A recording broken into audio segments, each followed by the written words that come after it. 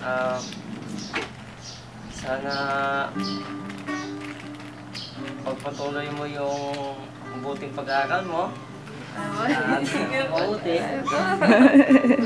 At yun nga, maging more open ka sa amin.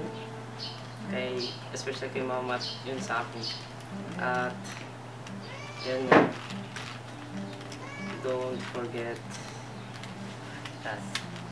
Yun po.